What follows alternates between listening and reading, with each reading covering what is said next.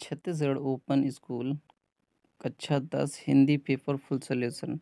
तो यह paper solution आपको पूरा मिलने वाला है। देख लीजिए, आपको सभी क्वेश्चनों के पूरे आंसर मिलने वाले हैं। तो वीडियो को पूरा देखिएगा स्क्रिप्ट मत करिएगा, क्योंकि सभी क्वेश्चनों के आपको सारे आंसर मिलने वाले हैं। यदि आपने अभी तक चैनल को सब्सक्राइब नहीं किया तो चैनल को सब्सक्राइब कर लीजिए, बेल आइकन को ऑन कर लीजिए, जिससे हमारे अगले वीडियो की नोटिफिकेशन सबसे पहले मिले। तो स्टार्ट करते हैं। उत्साह किस रस का स्थायी भाव तो उत्साह किस रस का स्थायी भाव? दूसरे का। तो ऑप्शन नंबर दूसरे का तो राइट आंसर नीचे लिखा हुआ है, वीर रस। तो कौन हो जाएगा? दूसरा। इसके बाद नेक्स्ट है। कभी नागार्जुन बीज के माध्यम से किसकी बात कर रहे हैं? तो किसकी बात कर रहे हैं? साधारण व्यक्ति की। तो किसकी बात कर रहे हैं? साधारण व्यक्ति की। कवि नागार्जुन बीच के माध्यम से किसकी बात कर रहे हैं? साधारण व्यक्ति की।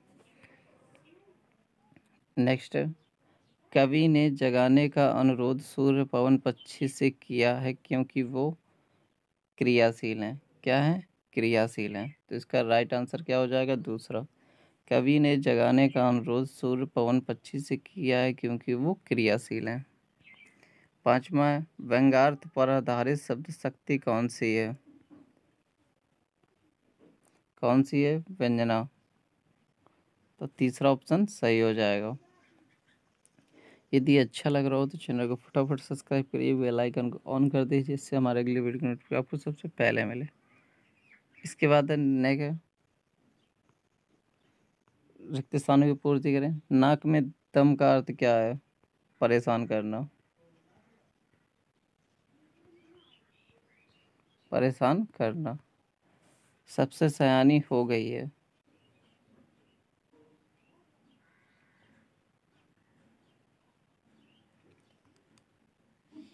सबसे समझदार हो गई है। सबसे समझदार हो गई है।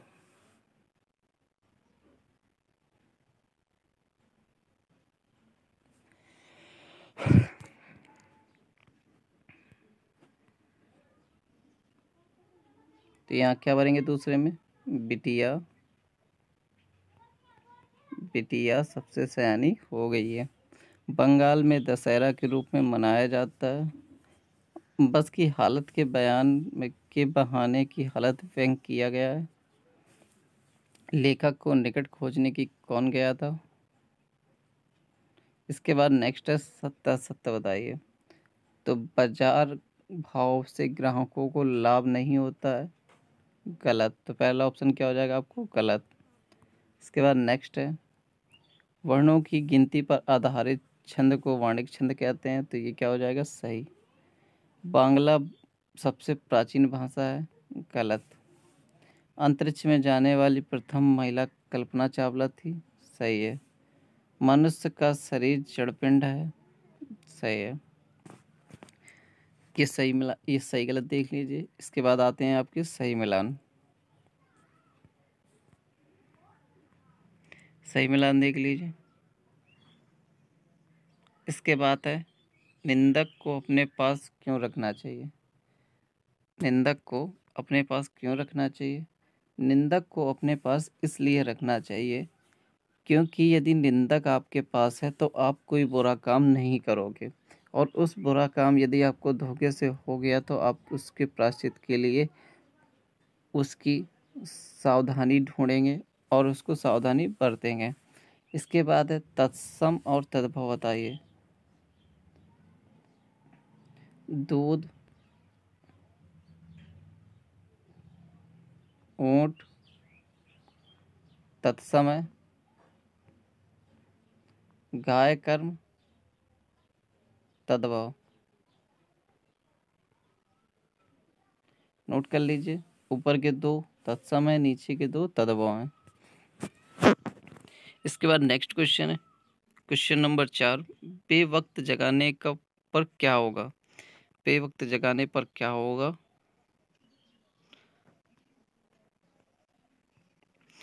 आप लोहे आप लोहे के तब अपने गले और धरने की प्रक्रिया जानते हैं। जानते हैं कि लोहे से दैनिक उपयोग के बर्तन भी बनते हैं और औज़ार भी सुई भी बनती है और गोली भी नारी तब बल कर उसके अनेक रूपों में ढाली जाती है। उसका सपना सहनाज सीमा पार कर जाता है, जो उसकी नवीन स्वरूप सामने आता है। आवश्यकता पड़ने पर वह आक्रामक भी हो सकती है।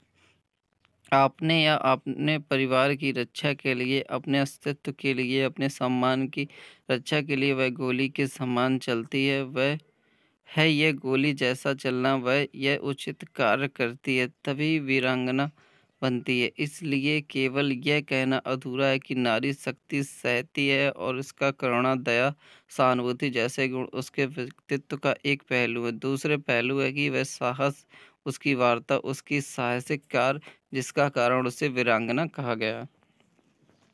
क्वेश्चन नंबर पाँचवा तपती देखा, गलती देखा, मैं गलने का क्या अर्थ है? बगला समाज की ढोंगी और पाखंडी वर्ग का प्रतीक है। बगला समाज की किस वर्ग का प्रतीक है? हिमालय पर्वत यही पूंछ सागर की गलती हुई, लहरें भी तो यही दोहराती हैं कि वह दूसरी और हिमालय पर्वत भारत के उत्तर दिशा में है। समुद्र दक्षिण में, कविता का यह कहना है कि भारत भर में उत्तर से दक्षिण तक सभी लोग यह जानना चाहते देशभक्त वीरों का वसंत कैसा हो? सिंगार में एक बलिदान के रास्ते पर चलें। हिमालय में बार बार क्या बुखार आ रही है। हिमालय से बार बार क्या पुकार आ रही है? हिमालय पर्वत ये पूछ, हिमालय यह पूछ सागर की मर्ज़ी हुई लहरें भी यह सवाल उठा रही हैं। वही दूसरी ओर हिमालय पर्वत की उत्तर दिशा में, समुद्र दक्षिण दिशा में, कवित्री का यह कहना चाहती हैं कि भारत भर में उत्तर से दक्षिण क्या पढ़ाई में आपको आते हैं डाउट्स तो पाँच सेकेंड में डाउट नेट के साथ करें, उन्हें आउट क्वेश्चन की पिक निकालें और उसे क्रॉप करें और तुरंत वीडियो सोल्यूशन पाएँ।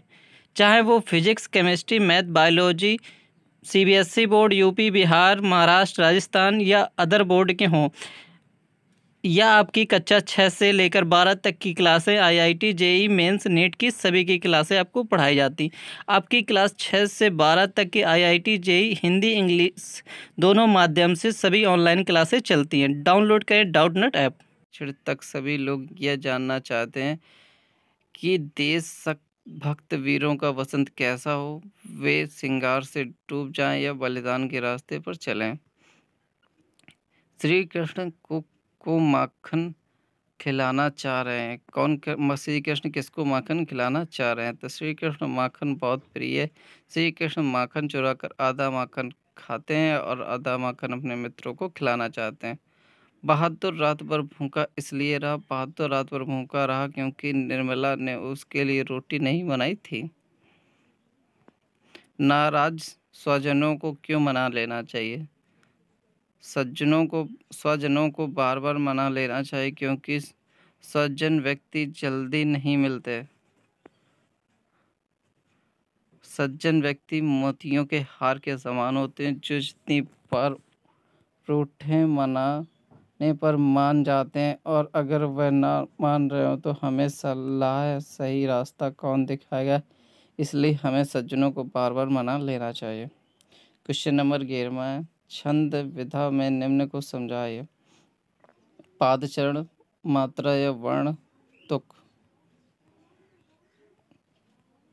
नेक्स्ट क्वेश्चन है क्वेश्चन नंबर बारह। बहुत दिनों के बाद कविता में गाँव लौटने से कवित्री ने क्या अनुभव किया बताइए? बहुत दिनों बाद मुझे एक ग्रामीण प्रकृति की रमणी व मोहक रूप में देखकर आनंद का अनुभव हुआ। मैंने वहाँ की सुनहरी फ़सलें और मुस्कुराते धान कूट की युक्ति, किशोरियों की मस्त कुटुक, कोमल कंट्रोल से गीत गाते हुए देखा। बहुत दिनों बाद मैंने गाँव में ताज़े ताज़े माल, सरी के फूलों की सुगंध, दिग्ग, सुगंध का अनुभव किया।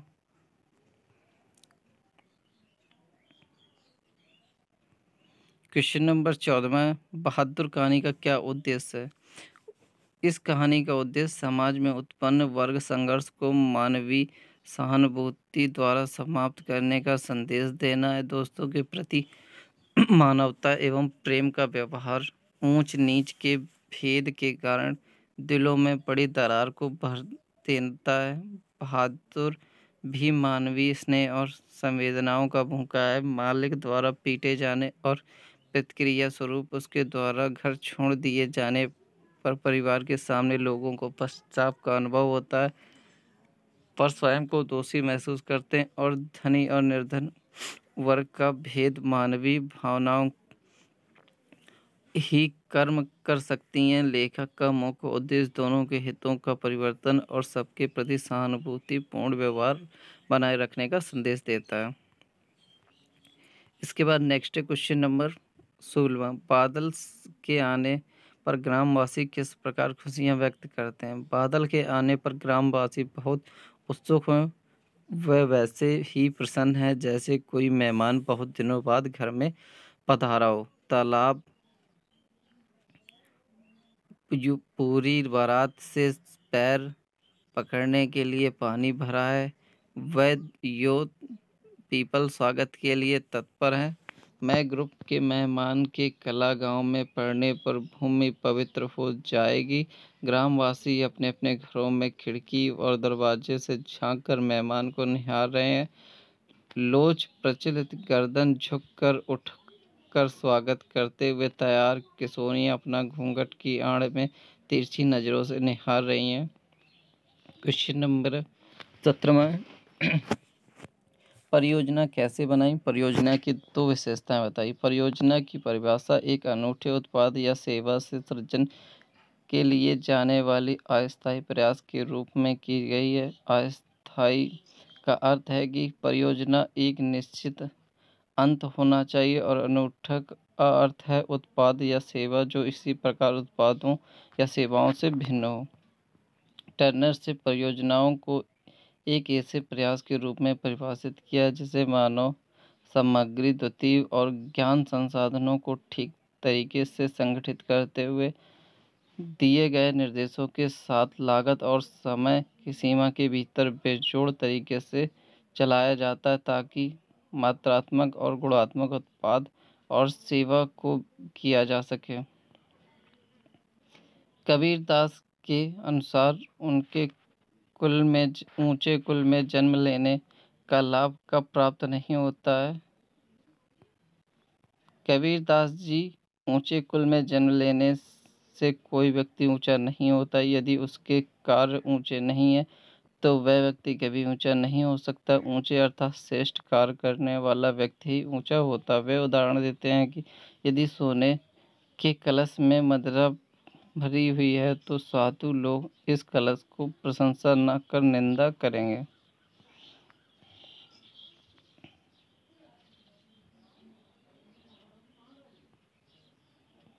क्वेश्चन नंबर उन्नीसवा बहुत दिनों बाद कविता ग्राम में जीवन को झांकी किस प्रकार प्रस्तुत की गई? बहुत दिनों के बाद घुमक्कड़ कवि की तेसज प्रकृति और घरेलू संवेदनाओं का एक दुर्लभ साक्ष्य प्रस्तुत करती घुमक्कड़ प्रवृत्ति का होने के कारण बहुत दिनों बाद कभी अपने ग्रामीण वातावरण में आकर पक्की सुनहरी लहरों, फ़सलों की मुस्कान देखकर आहित हो जाती है। धान कूटती किशोरियों की कोकिल कंठी तान सुनकर मंत्रमुग्ध हो जाती है।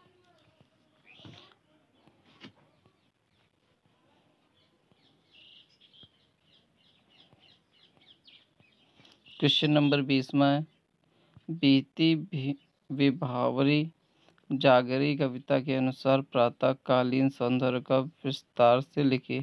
प्रातःकाल हो गया। इस तत्व पर बल देते हुए सखी कहती है, पक्षियों के कलरव पहचाने और एवं स्वर दे रहे हैं।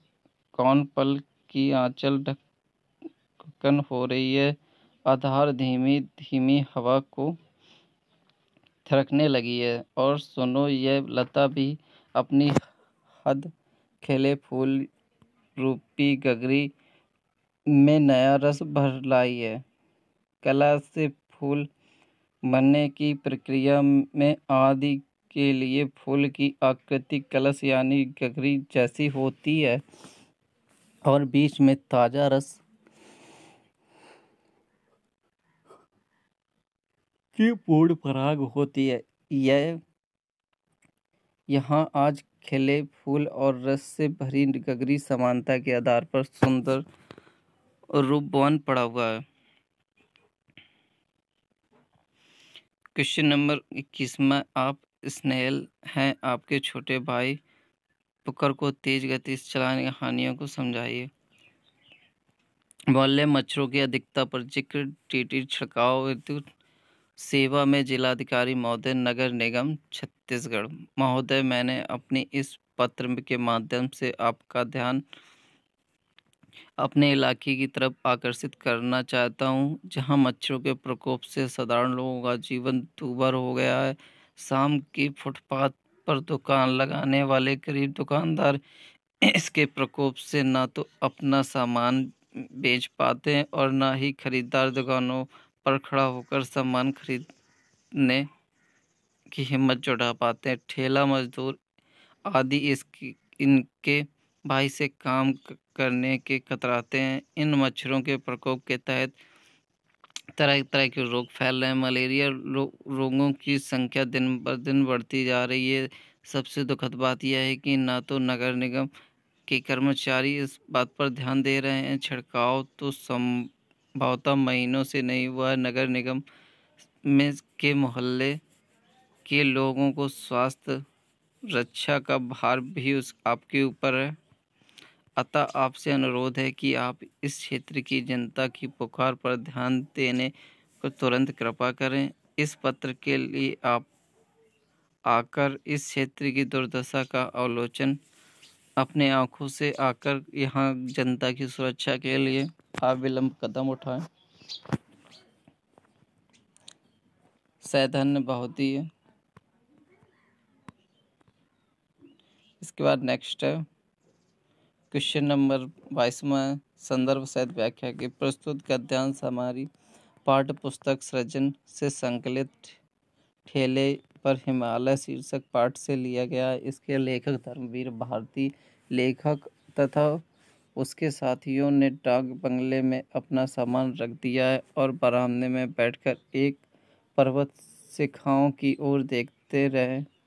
उनके मन में तरह तरह की भावना उत्पन्न हो रही है। व्याख्या लेखक कहता है कि मन में उठने वाले भावनाओं को बत